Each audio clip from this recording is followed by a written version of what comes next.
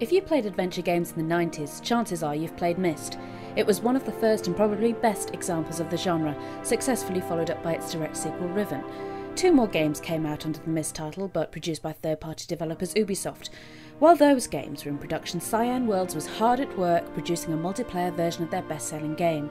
After five years and a staggering $12 million, they produced Uru Live, and just prior to the full launch of the online service, produced a single player prologue called Uru Ages Beyond Myst, intended to introduce players to the online world they would soon be entering.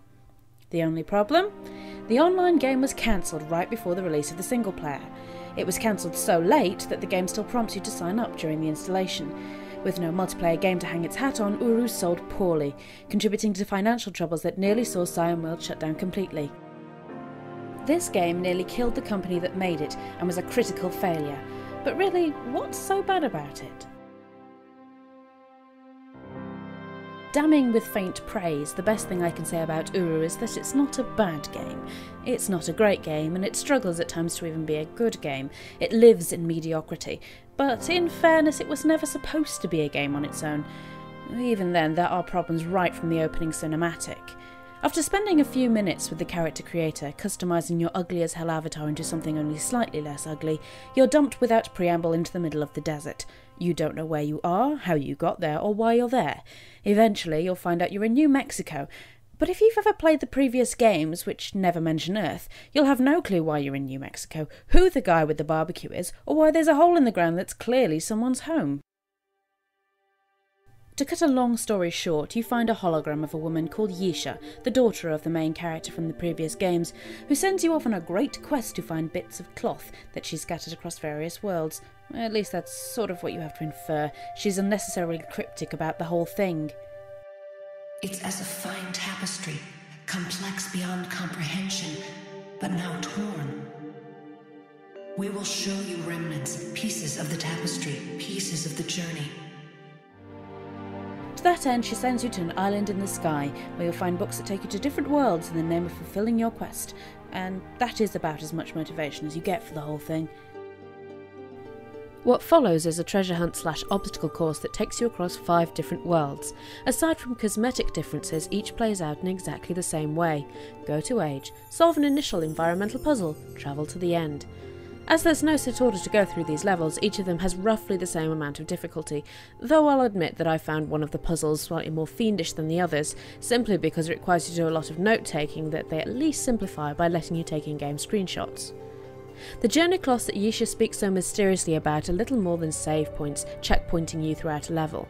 When you realise that, and that your journey is little more than a point A to point B run with yet another baffling speech awaiting you at the end, you stop caring about what you're doing. The writing hides what's between the lines. These journeys are to help you travel between. Some of the puzzles are not worthy of the name, though. They're only made difficult because of the completely screwed up way the game lets you interact with objects. That is, it doesn't let you interact with them. More than once, puzzles require you to move objects, such as this one, where you have to depress certain pressure plates. It's made teeth grindingly frustrating, however, by the way you move the rocks onto the plate. You can't just push them in a straight line. Often they'll roll out of the way, forcing you to constantly stop, step back, and readjust. This puzzle is the worst example by far. Basically, you have to build yourself a little bridge because you're going to fetch some fireflies from a neighbouring world to light your way in the dark. But the fireflies hate water, and if you put so much as a foot in the water, they'll flee out. You suddenly develop the world's worst BO problem. So you nudge this thing into position, and no kidding, it took me several minutes to get this into this rather precarious position. When you finally manage to get yourself sorted, you go away, fetch some fireflies, return, cross the bridge, jump, enter the cave, and they flee.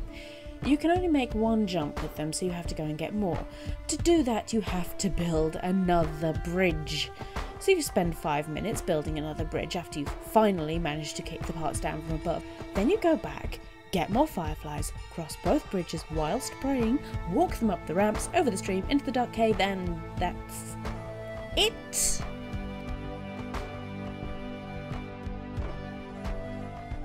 So after you've had Yeesha talk your ear off for a few minutes, you get to dissolve a totem pole and have it reappear on your island. Doing this four times somehow causes the space-time continuum to break faster than stale toast, and you do the logical thing anyone would do when faced with a hole in the ground that leads into space.